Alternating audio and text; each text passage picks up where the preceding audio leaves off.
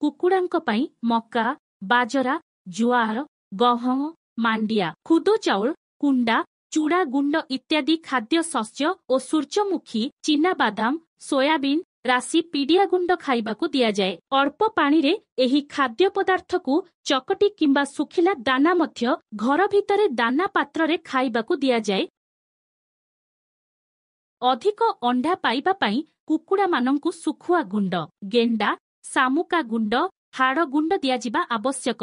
ପାଞ୍ଚ ପ୍ରତିଶତ ସାର ମଞ୍ଜି କପା ମଞ୍ଜି ଗୁଣ୍ଡ ମଧ୍ୟ ଖାଦ୍ୟରେ ମିଶାଯାଇପାରିବ କୁକୁଡ଼ାମାନେ ଘର ଅଗଣାରେ ଥିବା ଛୋଟ ଘାସ ପତ୍ର ଏବଂ ମୁକ୍ତ ଅଗଣାରେ ଧଳା ଉଇ ଜିଆ ମଧ୍ୟ ଖାଇବାକୁ ଦିଆଯାଇଥାଏ। ମକା ବାଜରା ଓ ଅନ୍ୟାନ୍ୟ ଖାଦ୍ୟ ଶସ୍ୟଗୁଡ଼ିକ ଅମଳ ସମୟରେ ସଂଗ୍ରହ କଲେ ଶସ୍ତା ହେବ। ଶାମୁକା ଗେଣ୍ଡାର ଖୋଳପାକୁ ପୋଖରୀ ଗଡ଼ିଆ ନଦୀ କେନାଲ ମାନଙ୍କରୁ ସଂଗ୍ରହ କରି ଓ ଗୁଣ୍ଡ କରି ଶୁଖାଇ ବସ୍ତାରେ ରଖି ସେଥିରୁ କିଛି କିଛି ଖାଇବାକୁ ଦେଲେ କୁକୁଡ଼ାମାନେ ଭଲ ଅଣ୍ଡା ଦେଇଥାନ୍ତି। ଗଛ ମୂଳରେ ଦଶଟି ପୁରୁଣା ମାଠିଆରେ କିଛି ଶୁଖିଲା ପତ୍ର ଛିଣ୍ଡା ଅଖା ଓ କପଡ଼ା ଶୁଖିଲା ଗୋବର ଓ କାଠିକୁଟା ଭର୍ତ୍ତି କରି ଟିକେ ପାଣି ସିଞ୍ଚନ୍ତୁ।